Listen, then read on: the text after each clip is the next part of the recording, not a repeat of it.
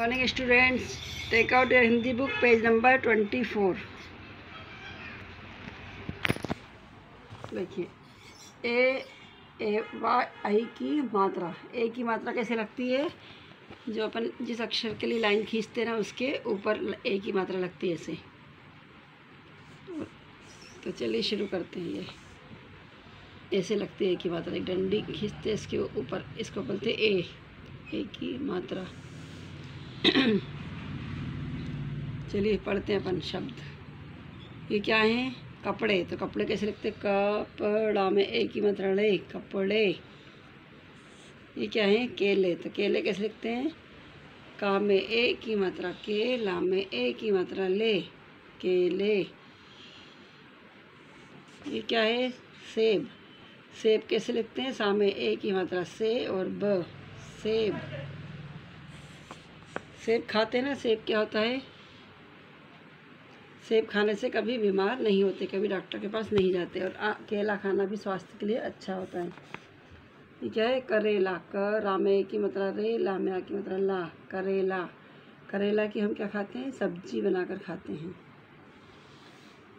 तो फिर से रिपीट कीजिए। कपड़े केले सेब करेला।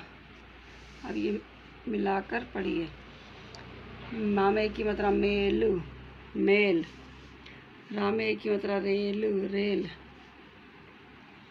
कामे की मात्रा तेलू, तेल। खामे ए की मात्रा खेलू, खेल।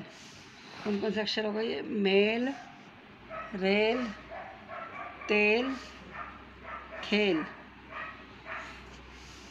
इसका चलेगा ठामे की मतलब ठे लामिया की मतलब ला, ठेला। मामे की मतलब में लामिया की मतलब ला, मेला। वामे की मतलब बे टामिया की मतलब टा, बेटा। पामे की मतलब पे ठामिया की मतलब ठा, पेठा।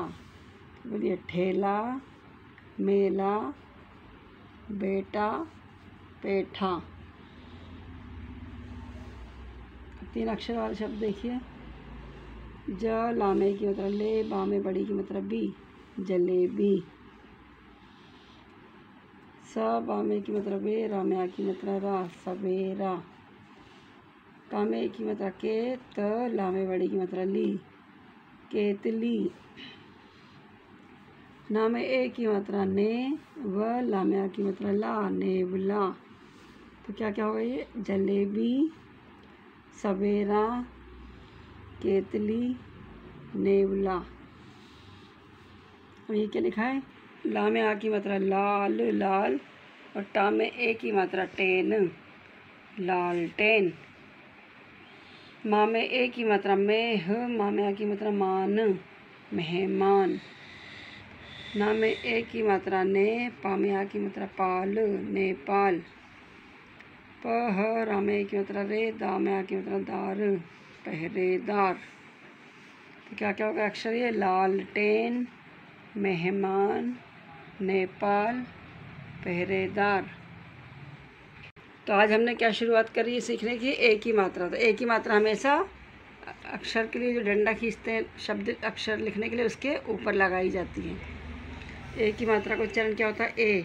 जिस भी अक्षर में मिलके मात्रा बनती है वो अक्षर के साथ ए कहलाता है। तो इसको आप घर पे फिर से एक बार पढ़िएगा रिपीट करके और एच डब्ल्यू कॉपी में लिखने की प्रैक्टिस करिएगा। Thank you have a good day